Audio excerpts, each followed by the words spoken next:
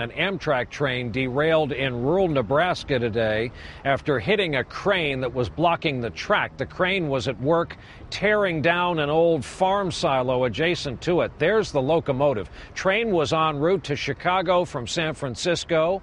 A dozen of the 178 passengers were taken to the hospital, but none of the injuries life threatening.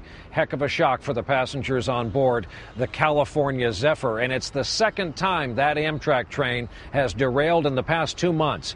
A truck train accident killed five passengers and the truck driver near Reno, Nevada back in June.